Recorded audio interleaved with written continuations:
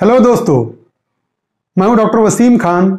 और पिछले तीन लेक्चर से हम इस्लाम में विरासत के क्या कानून हैं और किसी पर्सन की प्रॉपर्टी इस्लामी तरीके से, किस तरीके से उसके वारिसों में तकसीम होगी, हम डिस्कस कर रहे हैं। आज का जो टॉपिक में हम डिस्कस करने वाले हैं कि अगर किसी मेल की डेथ हो जाती है, मुस्लिम मेल है, मुस्लिम मर्द की डेथ हो जाती है, और वो अपने पीछे अपनी वाइफ को और अपने बच्चों को छोड़ता है तो उसके वाइफ में, यानी उसकी बीवी में और उसके बच्चों में प्रॉपर्टी उसकी या उसकी जो भी जायदाद है, किस तरीके से तकसीम होगी, आज के इस लेक्चर में हम डिस्कस करने वाले हैं। सो चलते हैं कंप्यूटर स्क्रीन की तरफ़।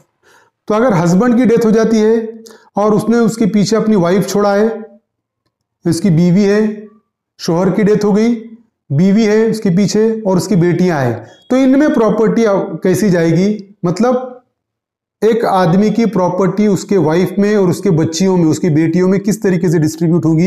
एग्ज़ाम्पल के ज़रिए हम समझेंगे। देखिए कि ये जो शोहर है जिसकी डेथ हो गई है, ये जो आदमी है जिसकी डेथ हो चुकी है और इसने अपने पीछे प्रॉपर्टी छोड़ा है। एग्ज़ाम्पल के तौर पे हम देख रहे हैं कि उसने सौ रुपए की प्रॉपर्टी अपने पीछे छोड़ा है और सौ रुपए की प्रॉपर्टी के साथ साथ उसने अपनी दो बीवियों को भी पीछे छोड़ा है। मतलब उसकी दो बीवियाँ थी, वो दोनों बीवियाँ हयात है, वो दोनों बीवियाँ अलाइव है, ज़िंदा है। और साथ ही साथ उसके चार लड़कियाँ हैं।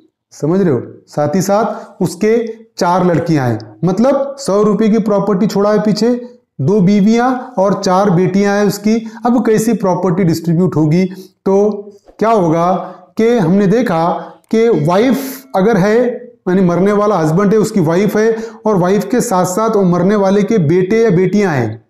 तो उस सिचुएशन में वाइफ का शेयर होता है वन एट्थ मतलब आठवां हिस्सा।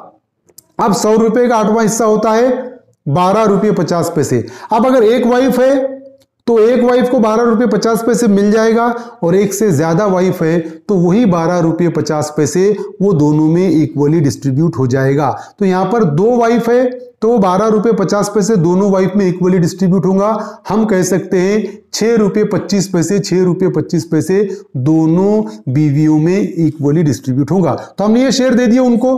अब क्या होगा कि हमने ये भी देखा था कि अगर एक डॉटर है तो अगर सन नहीं है, यानी बेटा, बेटी, सिर्फ़ बेटियाँ हैं, बेटा नहीं है, उस सिचुएशन में अगर एक बेटी है तो एक बेटी को 50 परसेंट शेयर मिलेगा। मतलब सौ रुपए का 50 परसेंट पचास रुपये एक बेटी को मिल जाएगा। और एक से ज़्यादा अगर बेटी है तो दो तिहाई हिस्सा, कि जैसा कि हम यहाँ दिख रहे हैं, कितना? दो तिहाई। मतलब सौ रुपए का दो तिहाई अगर हमने देखे तो वो होता है छिसठ रुपये छिसठ पैसे। अब ये जो छिसठ रुपये छिसठ पैसे है, क्योंकि यहाँ पर चार बेटियाँ हैं तो वो छिसठ रुपये छिसठ पैसे चारों बेटियों में, बराबरी में तकसीम होगा।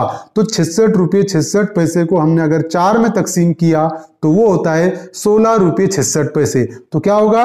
सोलह रुपये छिसठ पैसे हर बेटी को शेयर मिलेगा इक्वली तो यहाँ पर बारह रुपये पचास पैसे हमने वाइफ को दे दिया और छिसठ रुपए छिसठ पैसे में से हमने इन डॉटर्स को सोलह रुपए छिसठ पैसे, सोलह रुपए छिसठ पैसे हर डॉटर का शेयर उनको मिल चुका है। तो हम अगर यहाँ पर देखें तो बारह रुपये, पचास पैसे को अगर हम प्लस किए छिसठ रुपये छिसठ पैसे तो ये टोटल अमाउंट होता है उनासी रुपये, सोलह पैसे मतलब सेवेंटी नाइन पॉइंट सोलह। अब सेवेंटी नाइन पॉइंट सोलह को अगर हमने हंड्रेड में से माइनस किया तो बीस रुपये चौरासी पैसे बचते हैं, है ना? तो वो बीस रुपये चौरासी पैसे क्या हो जाएगा? रेसिडिव हो जाएगा। समझ रहे हो? रेसिडिव हो जाएगा। और अगर जो मरने वाला पर्सन है, अब बीस रुपये चौरासी पैसे बच गया, अब ये बचे वाला पैसा किसको जाएगा? अगर मरने वाले का भाई है एक भाई है तो बीस रुपये चौरासी पैसे भाई को मिल जाएगा। एक से ज़्यादा भाई है, दो भाई है तो बीस रुपए चौरासी पैसे दोनों में इक्वली डिस्ट्रीब्यूट होगा। तीन भाई है, तीनों में इक्वली डिस्ट्रीब्यूट होगा। अगर एक भाई, एक बहन है तो बीस रुपए चौरासी पैसे को तीन हिस्सों में तकसीम करेंगे। दो हिस्से भाई को देंगे और एक हिस्सा बहन को देंगे। इस तरीके से डिस्ट्रीब्यूट होगा। अगर भाई नहीं है तो भाई के बच्चे क्या देखे जाएँगे। या फॉर एग्ज़ाम्पल चाचा है क्या देखा जाएगा? अगर फॉर एग्ज़ाम्पल फादर नहीं है तो फादर्स ब्रदर है क्या देखे जाएँगे? तो इस तरीके से जो बचे वाला प्रॉपर्टी है, वो इन लोगों को जाएँगी। जो ये है वाइफ को डॉटर को तो इतना ही शेयर मिलेगा जो आप इस इमेज में देख रहे हैं। तो ये था कि अगर मरने वाला अगर मेल है और अपनी वाइफ को और बेटियों को पीछे छोड़ता है तो इस तरीके से प्रॉपर्टी डिस्ट्रीब्यूट होगी। उम्मीद करता हूँ कि इस, ये पॉइंट आपको समझ में आ गया होगा।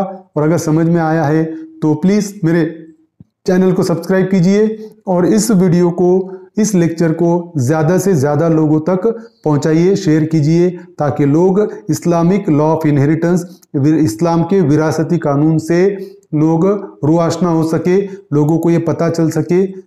Thank you thank you very much